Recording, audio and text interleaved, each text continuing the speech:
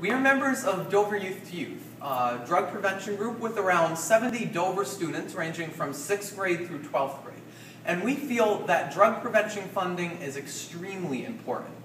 Now, last year, the state made millions of dollars on the sale of alcohol alone. And a state law required that 6% of that went into prevention funding. In reality, only 1% of that went to actual alcohol treatment, and none of that went to prevention funding. Uh, we urge you that in the future, we put some of that money towards prevention funding.